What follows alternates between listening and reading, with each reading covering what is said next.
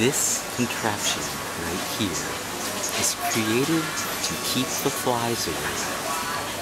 Look at it swat. The end.